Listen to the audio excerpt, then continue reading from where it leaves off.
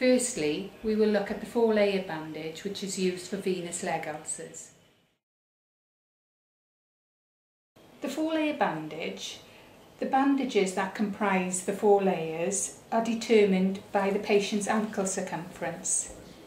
The average ankle size is between 18 and 25 centimetres and if the patient has an ankle circumference between these measurements then the standard four layer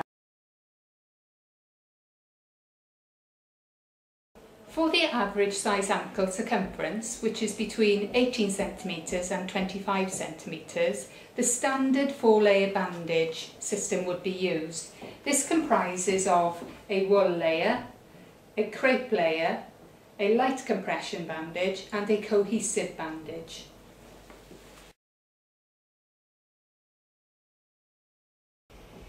The first layer is the wool layer.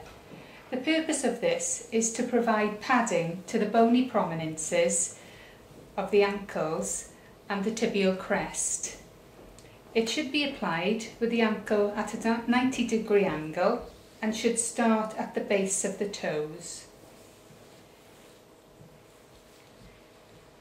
The bandage should be applied over a dressing which covers the ulcer in a figure of eight fashion around the ankle and then in a spiral up the leg, covering each layer by 50% on each turn.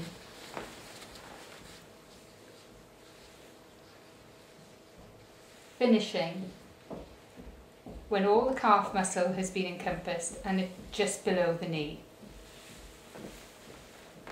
The second layer is a crepe layer. This adds an absorbent layer but doesn't add any compression. Again, the ankle should be at a 90 degree angle and should start at the base of the toes also. Being applied as the wool layer in a figure of eight around the ankle and then being stretched at a 50% tension and applied in a spiral up the limb so that all the calf muscle is taken in.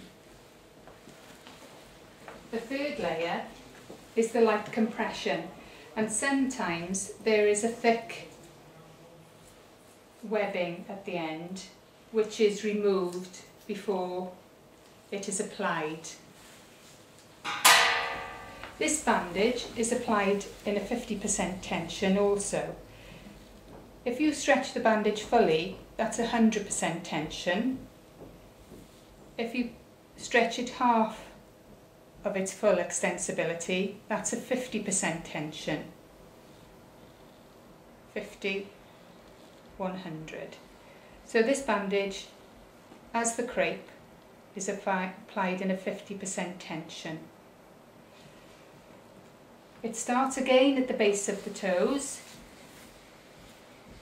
and a figure of eight fashion around the ankle. But this bandage is then applied up the limb in a figure of eight fashion.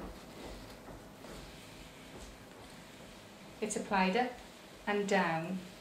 And if one of the lines of the bandage is followed up and then back down, a crisscross pattern emerges up the limb. This applies three layers of bandage to the limb, which increases the sub-bandage pressure. At the top of the limb, it's loosened off and no tension is applied to the last turn. Any excess is removed and the bandage can be secured with a small amount of tape.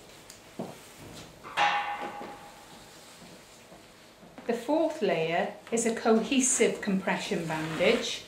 This again is applied at a 50% stretch.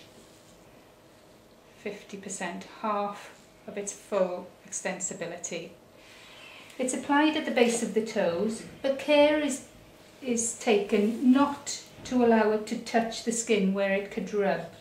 So if you leave two or three millimetres of bandage and then start just a little way back. That will be more comfortable for the patient. This bandage is applied as the first and second layer in a spiral fashion after encompassing the heel. It is then applied as a spiral with a 50% overlap up the limb on each turn. It is important that when you apply this bandage, the texture remains as if the texture of the bandage is lost. This may mean the bandage has been stretched too much when it's applied to the limb. Again, on the top turn, after all the calf muscle has been taken in on the bandage, a few millimetres is left at the top also, and this adds to patient comfort. Any excess can be removed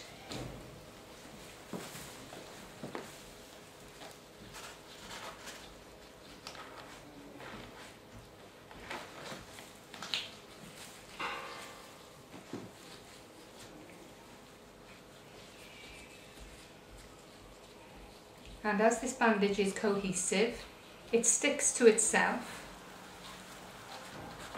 quite firmly but it doesn't stick to anything else and that is how the bandage should appear when it's applied in the correct fashion.